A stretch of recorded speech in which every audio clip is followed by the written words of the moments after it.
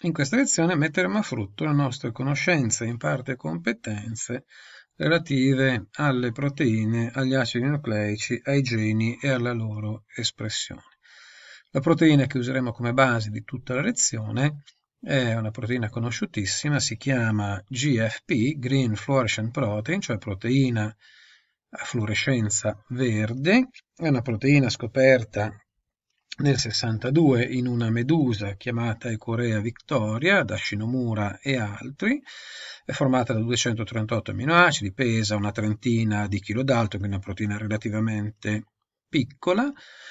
Da questa proteina sono state eh, ottenute mediante biotecnologie proteine di fusione, eh, ad esempio con fluorescenze diverse rispetto alla verde originale è una proteina interessante per noi anche perché è funzionale solo se in struttura quaternaria. Eh, ripassate le strutture primaria, secondaria, terziaria e quaternaria e il relativo folding, unfolding e misfolding delle proteine. La struttura è una struttura tipica di molte proteine, un beta barre, quindi la formazione di un barile in cui ogni singolo monomero della struttura quaternaria è formato da un'alfa elica centrale circondata da 11 foglietti beta antiparalleli. Questo cilindro ha un diametro di circa una trentina di eh, Armstrong e un'altezza di circa 40. Nell'elica centrale è presente il fluoroforo.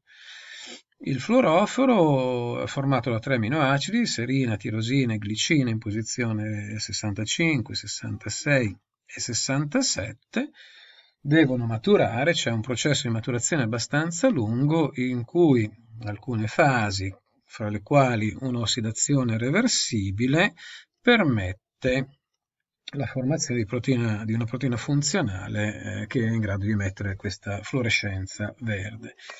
È abbastanza termostabile anche a temperature relativamente alte, ma funziona eh, meglio a basse temperature. Ricordiamoci l'origine, diciamo, marina, quindi in acqua a temperature relativamente basse.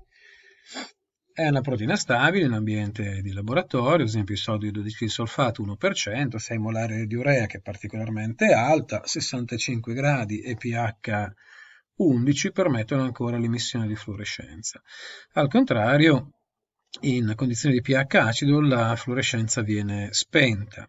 Come avevamo già in parte visto nella fotosintesi e anche negli enzimi, in enzimologia la presenza di specifici amminoacidi è fondamentale per l'attivazione di una proteina, in questo caso l'emissione di luce verde. Quindi si può immaginare che la sostituzione di uno o più amminoacidi fondamentali possa alterare molto la struttura della proteina e alterare quindi l'emissione di luce, ad esempio spegnendola o al contrario permettendo eh, forme di fluorescenza diverse da quella verde. In effetti oggi sono, grazie alle biotecnologie, disponibili eh, numerose forme di eh, proteine fluorescenti in generale, eh, non solo green, ma anche di colori diversi, quindi di green fluorescent protein e di fluorescent proteins in generale.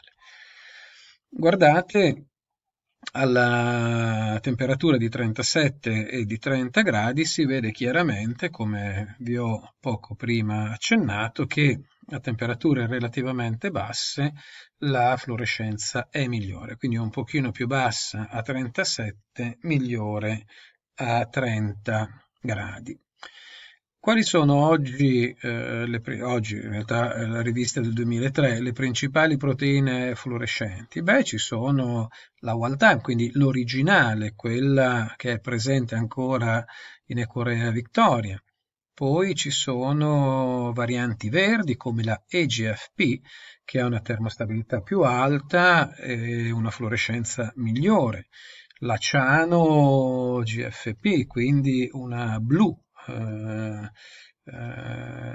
GFP che è stata trasformata in ECFP, una Yellow FP, quindi una giallo-verde eh, proteina, una Yellow Venus che matura più velocemente e ha una fluorescenza migliore rispetto alla gialla precedente, una giallo limone più fotostabile eh, comparata con la precedente, una RED eh, FP, una FAR RED eh, FP e altre eh, ci sono in commercio. Qui si vedono ovviamente le differenti fluorescenze quando gli estratti proteici vengono sottoposti a luce ultravioletta, quindi vedete alcune, queste, alcuni di questi campioni non reagiscono, altri reagiscono in maniera notevole, dando fluorescenze ovviamente a volte ben diverse dal colore originale. Beh, questi sono gli aminoacidi principali che saltiamo, ovviamente possiamo immaginare che la sostituzione di questi aminoacidi con altri, quindi l'alterazione della struttura, vedete in questo caso, possa portare alla produzione di colori differenti. Ovviamente si può immaginare che buona parte di queste mutazioni siano eh, negative sono state ovviamente eliminate dalla ricerca. Qui ci sono tre bellissimi spot di yellow, di red e di green fluorescent protein. Quali sono i bersagli subcellulari della eh, GFP? Beh, la GFP entra in buona parte dei componenti della cellula, quindi se io introducessi e facessi esprimere una cellula la GFP o altra FP, potrei trovarla in varie zone come la membrana, il nucleo, i reticoli, può essere presente nelle vescicole secretorie, mitocondri, perossisomi, vedete un po' eh, dappertutto. Normalmente, essendo una proteina relativamente grande, eh, abbiamo visto abbastanza stabile, eh, non, ci, non dà problemi a livello sperimentale, cioè è relativamente agevole da utilizzare. Ad esempio, qui vedete eh, l'utilizzo della GFP nelle cellule dell'endoderma di una radice, quindi in questo caso la GFP si è localizzata solo nelle cellule dell'endoderma, quindi quando vado in fluorescenza vedo una tipica fluorescenza rossa che vedrei comunque, quindi non dipende dalla presenza di eh, proteine particolari, ma è la fluorescenza rossa delle pareti, e vede invece una buona, un'ottima fluorescenza verde solo nelle cellule di questa struttura specifica delle radici che si chiama endoderma, quindi mi permette ad esempio di localizzare alcune strutture rispetto ad altre o anche vedremo eh, formando delle proteine di fusione la presenza di espressioni specifiche. Qui sempre in una radice siamo andati eh, a vedere la presenza di stoni quindi i stoni con attaccati eh, con attaccata la GFP quindi io in realtà non vedo l'istone vedo la GFP ma sapendo che la GFP è eh, ricombinante insieme all'istone questo mi dice anche dove si trova l'istone oppure qui usando eh, tecniche un pochino più raffinate mi permette di andare a lavorare sui circuiti cerebrali e qui vediamo i neuroni che possono essere ovviamente colorati con GFP differenti, ricostruiti in 3D al computer, permettendo di capire eh, sia l'architettura sia i circuiti cerebrali. Andiamo adesso a vedere un po' di metodologia sperimentale. Ci stiamo inserendo, stiamo entrando nel campo delle biotecnologie. Ovviamente eh, cercheremo di riassumere il più possibile data la situazione contingente. Come possono essere espresse le proteine fluorescenti negli organismi di studio, ad esempio mediante fenomeni di trasfezione negli animali, trasduzione usando dei retrovirus, i batteri possono essere trasformati e le piante possono essere sia trasformate che transfettate. Quindi dicevamo la trasfezione è il processo diciamo, tipicamente eucariotico, di inserimento di materiale genetico all'interno di una cellula eucariote. La trasformazione prevede invece l'utilizzo di batteri, la trasduzione retrovirale permette, prevede l'utilizzo di retrovirus che sono in grado di inserire nel genoma dell'ospite, grazie alla retrotrascrittasi poi una parte di gene di interesse.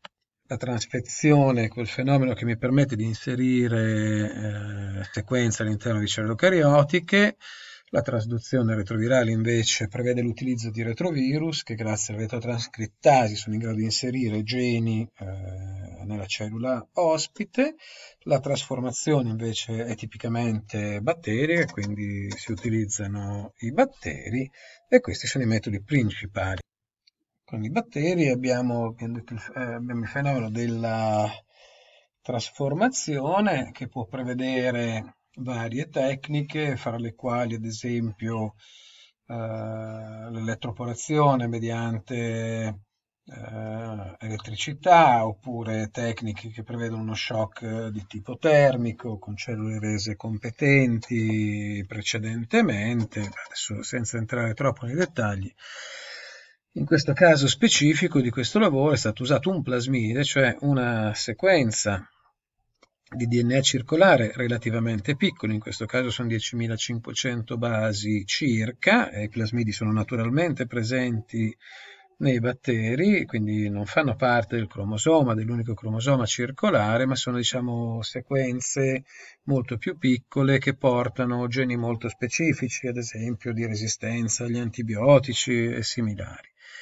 Questo plasmide commerciale, quindi non è eh, naturale, diciamo, è un plasmide fatto grazie alla biotecnologia, è un P-cambia 1302, insomma ci sono alcune sequenze specifiche, ad esempio importanti per noi alcune resistenze, ad esempio eh, la resistenza alla canamicina, cioè quando questo plasmide eh, esprime la resistenza alla canamicina, io posso somministrare l'antibiotico e ovviamente il batterio che presenta il plasmide resiste, vive, mentre il batterio che non lo presenta al contrario muore. Quindi questo tipo di resistenza serve per discriminare i batteri trasformati da quelli no, che non possiedono ovviamente questo sito.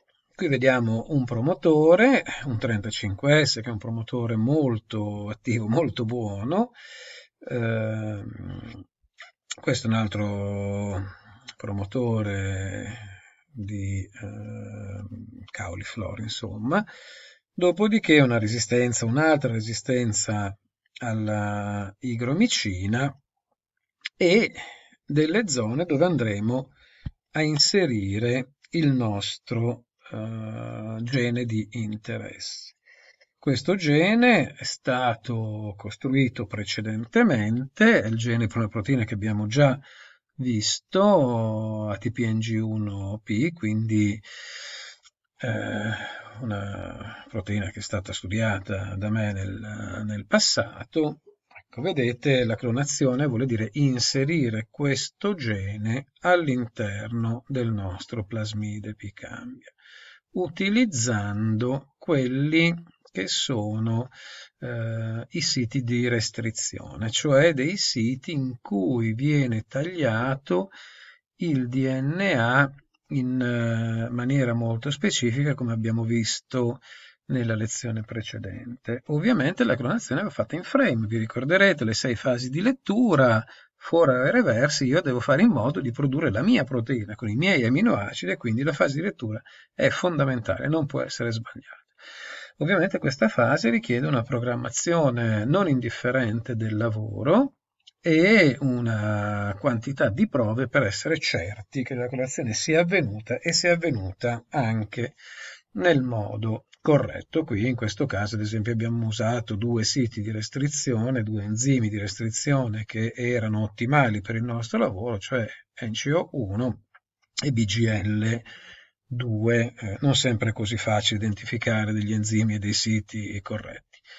In questa sequenza che è una sequenza in cui sono presenti molte, eh, molti siti di restrizione, per cui mi permette di scegliere fra tutti questi due siti che possono essere per il mio frammento ideali, quindi c'è una possibilità non indifferente. Poi con le biotecnologie posso anche modificare i siti di restrizione e inserirli ove non fossero presenti.